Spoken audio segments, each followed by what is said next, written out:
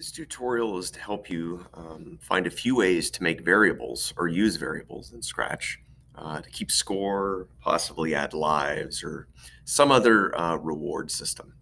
So in this uh, Scratch project, if we, if we hit run, you'll see there's a cat where you have keyboard control.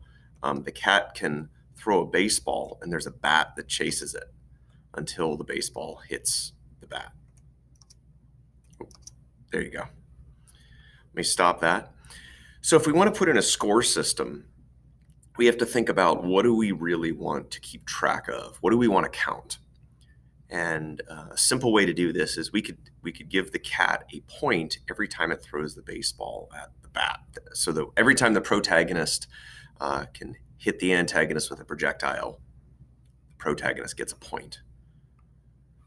So the action that has to happen is the baseball has to touch the bat.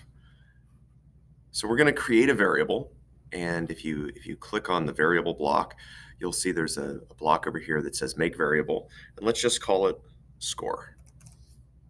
Uh, we're going to set it for all sprites and hit OK. Now right over here, you'll see the variable showed up. If you click that box, uh, or unclick it, it will appear on the stage. So if it's not, if that box is not checked, it won't appear. If it is, it will. We're going to need to create another script. And That'll go right over here. And we're writing the script for the baseball. Uh, let's set up forever loop because we want this to work anytime the program is being run. And our condition is going to use an if then block. So the condition we uh, just talked about is if the baseball touches the bat, we want the score to go up by one point. Now under variables, a few blocks will show up. Uh, and the first is we should, when we start the game, we should probably set set the score variable to zero. Um, and then once it gets running, if the baseball touches the bat, let's change the score by one and we'll run that and see how it works. Here we go. Seemed to work.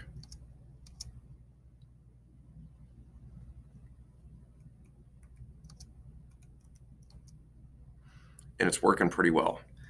Uh, one problem you may run into, and I'll show you this in a moment, um, is that it won't increase by the exact amount. And in this example, it is.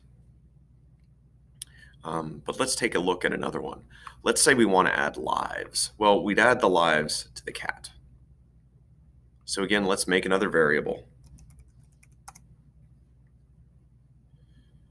And we'll do the same thing. We'll create uh, another event block. We're, we're writing a script for this variable, a forever loop, and an if then. And we could do more or less the same thing. If the cat uh, is touching the bat, we'll decrease it by one life. So since we have a cat here, we are going to set the lives. Uh, cats have nine lives, so we'll set it to nine. Blocks are getting a little mixed up here. Even though normally you get three, we'll, we'll set it to nine. And if it touches the bat, we're going to change it by negative one. So let's run this program. And you can see the lives are set to nine. And as soon as the bat goes over here,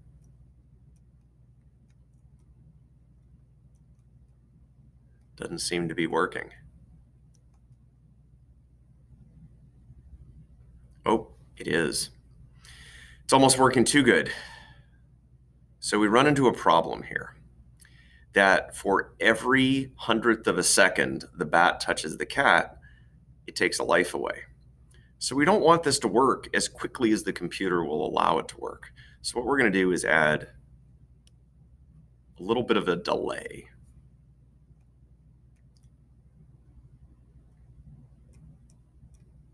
And now it goes down a little bit more slowly. And that's not a bad idea to add to everything. We didn't add this to the score, but it's not, not a bad practice that if you want something to count up slowly or down slowly and be accurate, add that wait one second. Maybe you'll need to change it to a little bit longer or a little bit shorter, but this way um, you get an accurate counter. And then you could set it so it does something if lives equals zero. So there you go. That's a simple way to use variables to create a counting system to keep score or lives. And before I go, I should just add that in. There we go. Good luck programming.